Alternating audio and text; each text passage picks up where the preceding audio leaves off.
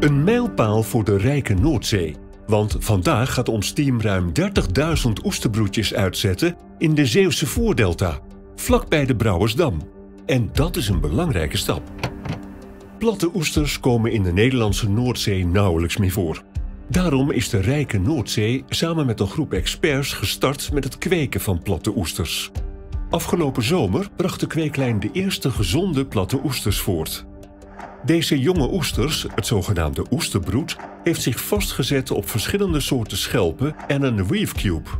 Bovendien is het oesterbroed getest op de veel voorkomende parasiet Bonamia. Het broed is vrij van deze parasiet en kan dus met gerust hart worden uitgeplaatst.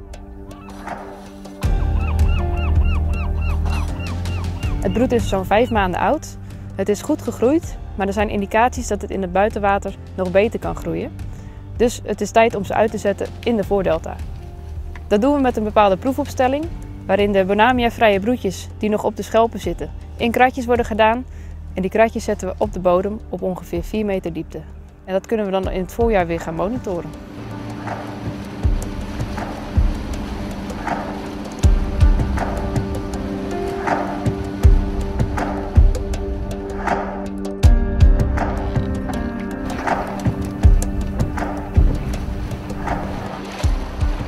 Het duikteam zoekt naar de beste plek om het oesterbroed uit te zetten. We willen de bestaande natuur niet verstoren en zoeken naar een bodem waar we de kistjes stevig vast kunnen maken. Na een paar duiken wordt op een zandige bodem in de buurt van een oesterrif een geschikte testlocatie gevonden. Het oesterbroed heeft zich gehecht aan verschillende soorten schelpen en aan een mini reef cube. Een grotere versie van deze Weave Cube gebruiken we om kunstriffen te bouwen in windparken op zee. Ook de mini Weave Cubes kunnen we mooi testen op deze locatie.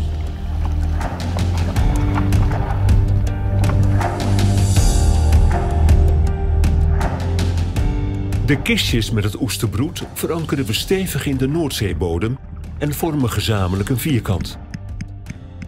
In het midden van dit vierkant staat de Weave Cube en daaromheen strooien we de schelpen met het oesterbroed uit. De vraag is nu hoe de oesters groeien in het wild en of ze overleven.